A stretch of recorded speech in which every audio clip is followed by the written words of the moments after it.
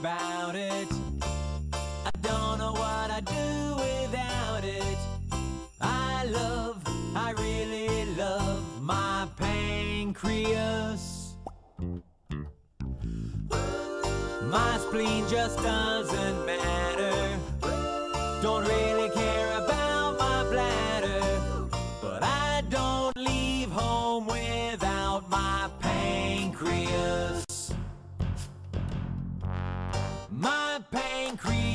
Is